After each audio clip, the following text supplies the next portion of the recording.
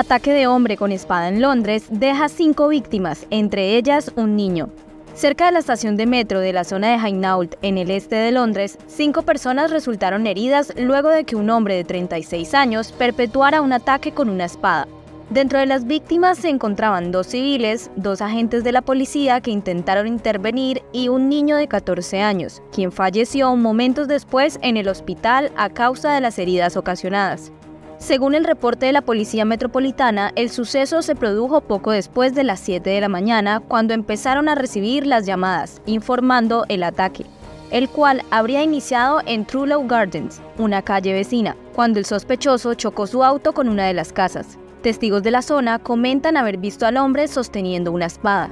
En varios videos compartidos en redes sociales se puede ver al atacante rondar por las casas con el arma, e incluso el momento en el que arrastra uno de los cuerpos por la calle. El superintendente jefe Stuart Bell declaró a los medios de comunicación que el hombre ya se encuentra bajo custodia luego de ser reducido con un taser, y las circunstancias del ataque están siendo investigadas por los respectivos equipos, pero que al parecer no está relacionado con terrorismo, por lo que no se están buscando más sospechosos. Según la asistente de comunicación Luisa Rolf, aunque la investigación avanza rápidamente, las autoridades necesitarán más tiempo para esclarecer los hechos. El sospechoso no ha sido interrogado debido a sus heridas. Al parecer, fue detenido bajo la sospecha de asesinato. Sin embargo, todo parece indicar que no cuenta con condenas previas.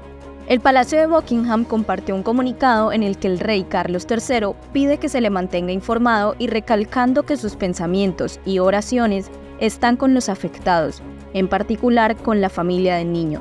Recuerda darle like y suscribirte para estar al tanto de las últimas noticias.